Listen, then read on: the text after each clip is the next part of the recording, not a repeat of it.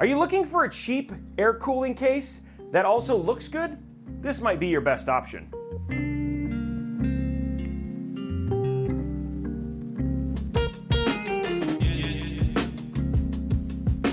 The very popular NZXT H510 Flow and H510 finally have a new predecessor? No, no, not predecessor. Replacement. Successor. That's the word I'm looking for. And I mean, looking at it just from a design standpoint, it feels like a worthy successor, especially with that added um, direct airflow GPU fan down here at the bottom. There's a 120 millimeter fan, which you're probably seeing here. Uh, let's be honest, the H510 seriously needed a redesign. I mean, I can't even tell you how many people called it the hot box, the death box, you name it, whatever. There was just a lot that needed to be fixed. But this is now part of a brand new family that NZXT announced with the H5 Flow and the H5 Elite, which the H5 Elite review will come later. Now the focus for this bad boy is all on airflow. I mean, there is a great diagram on their website that shows just all the places you can pull air. You can pull air from down here, you pull air from up here, you pull air from the back, you pull air, sorry, you exhaust air from the back, you pull air from all sorts of places, including this really cool uh, fan that is located at the bottom. Not only is it about premium airflow, this is made from a system integrator, somebody who builds a ton of PCs for a ton of people. So build experience and ease of build experience is very, very important to them. Lastly, price, $94.99. Very, very good price for a mid-tower case. Oh, and by the way, it also comes with a two-year warranty. Okay, so let's let's talk about the outside of the case. Like how how big is it? Well, first and foremost, guys, it's a mid-tower case. So it's 446 millimeters long or 17.55 inches. It's 227 millimeters wide or about 8.93 inches and 464 millimeters tall or about 18.2 inches. It's 7.01 kilograms or 15.45 pounds. For front I.O., you've got a USB 3.2 Gen 1 Type A, you've got a USB 3.2 Gen 2 Type C, and then you've got a combo headset audio jack as well. For your motherboard support, when you think about on the inside of the case, which you're you're looking at right here, you can support up to EATX. Specifically, though, up to 272 millimeters is the limit. Now, here's the deal: this bar right here, uh, which you're seeing, this this creates quite a bit of limits. And so, if you think about just like a standard board, like I'm not even talking like a godlike, like an MSI Ace is like 277 millimeters. So I just I don't recommend an EATX board inside of this case, even though it says it is EATX. I would say ATX and lower uh, is going to be your safer bet. This does support air coolers. In fact, you can see right here, uh, we've got that beautiful T120 up to 165 millimeters. So you're like mid-size single tower or dual tower size coolers, like for instance the the uh, the, the uh, AK600 from Deepcool. Those are going to be totally fine. Let's also talk about your GPU clearance. You actually have up to 365 millimeters in length. So as you can see, it's most long cables. We got the 3090 Ti sitting there with lots of room. Obviously, you have to think about with a front radiator, um, you are going to lose a little bit of space, but for the most part, any one of your bigger GPUs is going to fit in here without much of an issue. Because of that added fan up at the front, they got rid of the drive tray. So this isn't going to be like your NAS build. Because of that, you've got room for a single two and a half inch uh, SSD or a three and a half inch HDD, uh, and that's about it. For fans, you can do two 140 millimeter or two 120 millimeter in the front. You can do two 120 millimeter in the top. You got a one 120 millimeter in the back, and you've got that 120 millimeter airflow fan at the bottom for the GPU. Now, it does come with two F120Q fans. Um, that's not enough to really cool the case. Uh, and by the way, all of those are actually replaceable, so you can put whatever you want in there if you wanted to. For radiators, you can do a 280 millimeter AIO in the front. Uh, you can do up to a 240 millimeter AIO in the top, and then you can do 120 millimeter AIO in the back if you wanted to. Let's check out a montage of the build, of course, featuring that new T120 cooler. If you want to check out a review of that T120, which was super surprising in terms of how good it is, you can check that out actually right here. But outside of that, let's see what the build looks like inside of the case that has more RGB and stuff, and enjoy.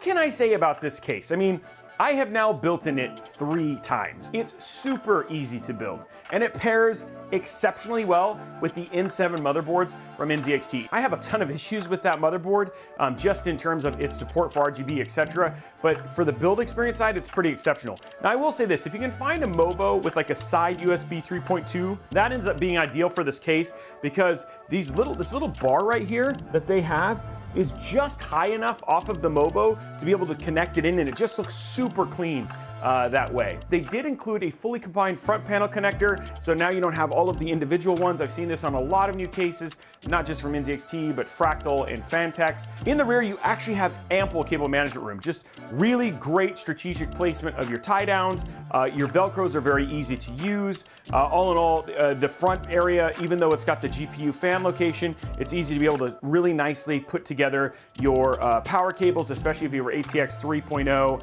or, or a 4000 series, which you can see from a GPU standpoint fits in here without any issues whatsoever. I do love that you can now top mount a 240 millimeter AIO, though with the dedicated GPU fan, you know, it's not as big of a deal now to front mount a 280 millimeter radiator. Before, you usually wouldn't front mount a radiator because you're gonna starve the GPU. I think the addition of that fan actually fixes that problem. One thing, if you are gonna top mount uh, just it's worth noting that you will need to plug in your EPS CPU connectors before top mounting your AIO because you're not, it's gonna be really hard unless you have small hands, which I don't my sausage fingers. Uh, it makes a little, uh, it makes a little, uh, makes it a little hard to do that afterwards. This still does have the ability, and you can see the screws here, to actually remove this and install everything separately and put it back in like the old H510. But the best thing is, is that you can also on both the H5 Elite and on the H5 Flow remove this front. It just gives you better options for cable managing in the front. Now, if you guys want to see the whole build and see the whole process for that, you can actually check out the full live build of that right here. Okay, so let's talk about the H5 Flow and how it performs. Now, first and foremost, for the config that we actually used, we used an Intel Core i5 13600K. We used the NZXT T120 RGB black with two fans, so we added a second F120Q fan. Uh, we got the NZXT N7 Z690 motherboard. Again, just wanted to make sure that it paired well together. It's a different motherboard than what you're seeing uh, via this stuff, but in the B-roll, you'll see what we actually used. Uh, for our GPU, we used the NVIDIA RTX 3090 Ti FE. For memory, we used a Team T-Force Delta RGB 4x8 configuration at 3200 megahertz of DDR4, so you got 32 gigs of there. We've got a one terabyte SN770 uh, Western Digital Black NVMe SSD. We've got Be Quiet Silent Wing 3 fans, so two 140s. We used uh, the NZXT C1000 80 Plus Gold PSU, and then we used Asiahorse cable extensions. They're black and gray, just to go with the whole kind of smoked out theme with just that little bit of RGB. The temps that we're cooling, when you're doing a 13600K, you do set things for air cooling. Now, the, what this does is this minimizes the runway for boosting and your volt keeps your voltages in check. So if you were setting to AIO cooling, your temps with this T120 cooler will be significantly hotter and they don't need to be for gaming, etc. So let's talk about it. For CPU, when we were basically under idle, we saw 35 in the open case and then we saw 36 in the closed case. So nice close top, uh, close top temps. Now, for these under load cases, again, you have to make sure you set that settings. You're looking at 79 under load in the open case and 82 in the closed case. My thoughts on the CPU temps, super nice tight numbers between open and closed case. Obviously for air cooling, using nice fans like the Be Quiet Silent Wing 3s that we're using is a good idea. If you think about RGB, I will say the new F120Q RGBs from NZXT aren't bad. And then also the Lian Li Uni 120s, the brand new ones they just announced, are also great RGB options. Okay, so let's talk about GPU then. At open case and idle, we're looking at 35, and then closed case, we actually saw 30, which that is that fan doing its job, which is actually pretty awesome. Uh, when we talk about under load, we saw 70 in the open case, and then closed case, we saw 71. Obviously, that fan making a difference in GPU, that's really cool to see. I think it's such a smart design. So what are my, what are my closing thoughts? Ruby, what do you think? This is a great case for the price. I love the thought and engineering when it came to the whole thing, right? Like everything from the build experience, how easy it is to cable management. Um, you know, it's just a very clean looking case. Again, it's got that very NZXT feel. They tried to keep the cost down, and some of that is just in the materials that are obviously being made. Lighter aluminum than what you're used to on some of the, you know, something a little bit more expensive. Though, with the right parts, this can be an exceptionally performing airflow case. It is very much a worthy successor to the NZXT H510 series, and it was much, much needed, and I feel like they did a very good job of making everything that made that case great but outdated just so much better and in line with modern uh, hardware and modern hardware PC needs. That's what I think. I'd love to know what you think. Uh, so, did you like the H5 Flow? Was there stuff that you saw that you were surprised about? Did you know about that, that lower GPU fan? And what are your thoughts on the lower GPU fan? Do you feel like there's gonna be enough GPUs that that might potentially end up being an issue? I'd love to know all that and more down in the comments below. Now, while you're down there, see that, see that like and subscribe button? If you could just, if you could just nudge it, that would be awesome. Number, number one, you won't miss awesome videos like this, especially if you ring that notification bell that is right next to it, because then at that point in time, you'll get notified every time we post a new video like this.